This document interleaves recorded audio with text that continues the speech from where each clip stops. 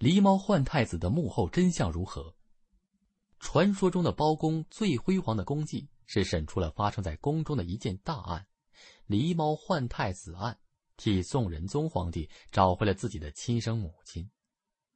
据说有一天，包拯经过一地，有一位瞎老太太告状。包公见此婆口呼包青，自称哀家，贫民如何有这样口气？只见老太太眼中流泪，便将以往之事滔滔不绝述说一番。原来这位瞎眼的老太太是当今万岁的亲娘，当初她生下仁宗时，被记恨她的刘妃陷害。刘妃抱走仁宗，让自己手下太监郭槐去找了一只剥了皮的狸猫，对着皇帝说是李妃产下的怪胎。盛怒的皇上将李妃赶出后宫，李妃因此而流落到此。包拯得知真情，与李妃假认做母子，将李妃带回开封。此时真宗早已死去，李妃的儿子已经做了皇帝。史称宋仁宗，包拯又趁进宫向仁宗嫡皇后贺寿之机，将李妃带进宫中，李妃才得以与自己的亲生儿子仁宗见面，并道出了真相。后来包公又设计让郭槐供出真相，已做了太后的刘氏知道阴谋败露，惊厥而死。由于包拯在这一案中立了大功，被仁宗认为首相。宋史则另有一说，历史上仁宗却有认母一事。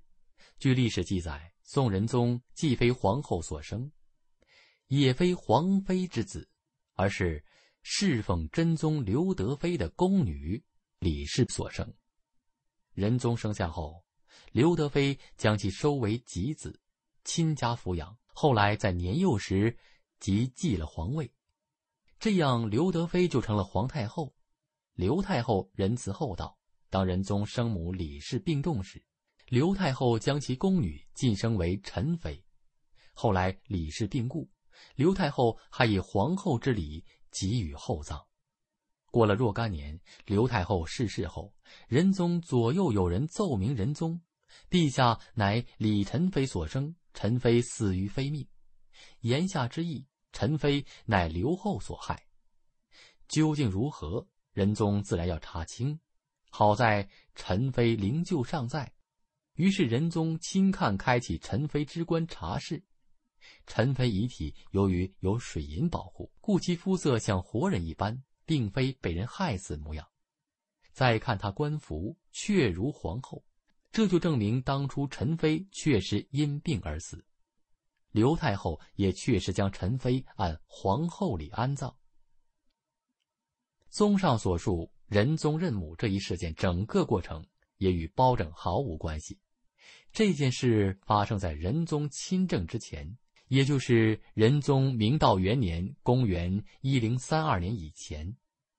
而此时包拯还是一个布衣百姓。至于刘妃到底用什么方法把赵祯收为己子，也不得而知。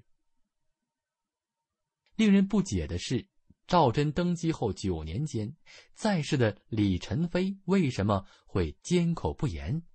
这给后人留下一个谜。